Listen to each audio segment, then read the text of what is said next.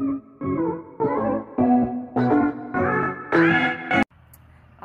guys welcome back to my channel. I am kenya and i am so happy.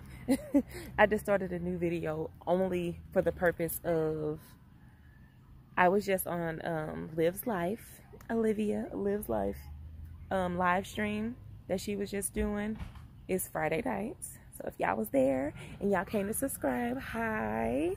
Thank you so much for subscribing um, to my channel. You guys, I'm so excited. Like, I don't know how happy I am right now. This is such a blessing.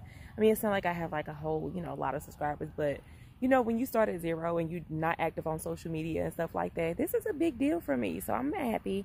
Um, you know, I've been putting in the work. I've learned how to edit and all of this stuff. And it's just like to get recognized, even in this small way, is amazing. So I'm super duper happy about this. Um, it's just gonna make me be more consistent and yeah, I'm excited. So I just wanted to come and bring my happiness onto the camera while it's like fresh and new or whatever. So I'll be back. Yeah, I'm in the car right now. I had came to uh ooh, this lighting is trash. I had came to uh this store up the street to get some food or whatever and this girl got the heat on. Like, I don't, can we not? Thank you. Oh my God, it's so hot. But anyway, um, and I see my subscriber count is still just going up.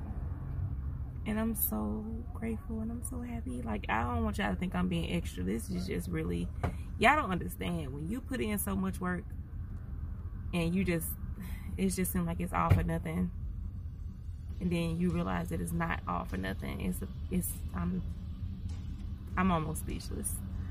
Um, and I know some of y'all like, girl, you only got a hundred some subscribers. I had zero. Okay, I had zero.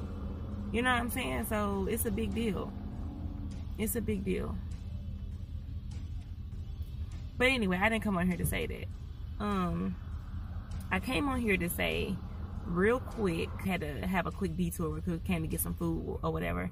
And I just was in the car thinking like, you know, sometimes let me sit y'all. Sometimes uh you gotta be selfish. You gotta really be selfish. You have to do what's best for you. You can't think about your mama, your daddy, your sister, your brother, your cousin. And sometimes you gotta say forget your kids, especially for y'all who got grown kids, they ungrateful and all of that. You gotta do what's best for you sometimes. You can't be going so hard for everybody else that it's draining your energy. It's causing you to be unhappy. You cannot do that. This is your life. You get one life to live. Why would you live your life trying to make everybody else happy and you're unhappy? You cannot pour from an empty cup. You cannot. You have to fill yourself up. Now, it's okay to be down about things for a moment, but after after so long, you have to be like, all right, either you pray about it or whatever you do for yourself. You pray about it, you write it down, you journal about it, you scream in your pillow, you fight, whatever, whatever it is you do that's gonna help you get past your um that negative energy or that bad situation. You do that and you move on. You never sit and just be in no bad thoughts or negative thoughts or none of that. You have to move on. Like for real. Like I hate when I see people just so miserable and so unhappy and so down and depressed, especially for extended amount of time. Like we all go through things. Ain't nobody life just perfect. I don't care how much money you got. I don't care what kind of car you drive. I don't care about none of that. We all go through things, but it's all about how you handle them situations. How are you going to handle the situation? You going to keep making the same mistake, keep doing the same thing over and over? That don't make sense. You're not going to get no different result if you keep doing the same thing. So the next time you will come to the situation, then do something different challenge yourself to do something different than what you've done before. That's what I challenge you to do. Yeah. All right, you guys. So um, I'm just about to do my yoga, do some stretching, um, do sort of like my morning routine, um, lighting my sage, like burning Palo Santo, and smoking my CBD. Tonight, I'm chilling on the west side. Ooh, call my homegirl, tell your best friend. Cause I too